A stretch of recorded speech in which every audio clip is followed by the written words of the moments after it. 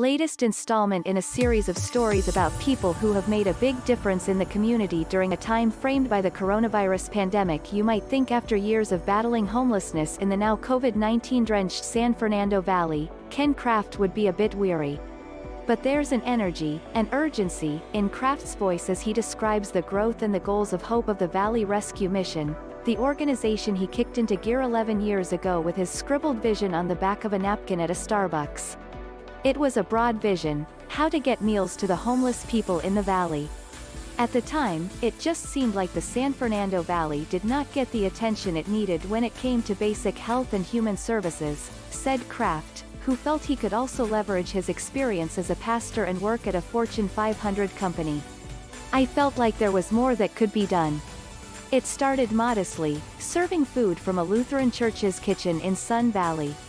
But over time, just as the need has grown, so has Craft's organization, with 200 staffers, 17 site locations, including 9 shelters, a job center, thrift stories, hundreds of daily meals to distribute and much more to come, including two tiny homes hubs, a site in the high desert and new shelter at the former Skateland in Northridge. I feel like we've just begun, said Craft this week, on his way to a toy giveaway. We have an incredible opportunity to make difference in the community. And that's what we're going to do. That opportunity comes as homelessness has now long since reached crisis levels in LA County, and the Valley. According to the Los Angeles Homeless Services Authority, 66, 436 people in Los Angeles County are experiencing homelessness, a 12. 7% rise from last year. The city of Los Angeles saw a 16. 1% rise to 41, 290, according to LAHSA. But you don't need numbers to see it, whether it's along a bike path, an industrial area street, a local neighborhood. That has kept Craft and his staff busy. Then came COVID-19, which only amplified the issue, with many more needing food and services to stay alive, and to stay safe from a virus that so far has claimed more than 9,000 lives in L County.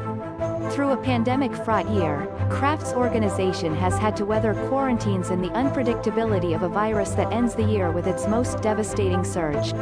Lessons learned in the COVID era? Many, Craft says.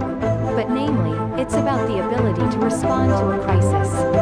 To step out and just do it, even when you don't have all the information, he said, adding there have been many times throughout the pandemic when the organization just didn't know all it could before acting. We've been incredibly flexible. We've been able to adjust.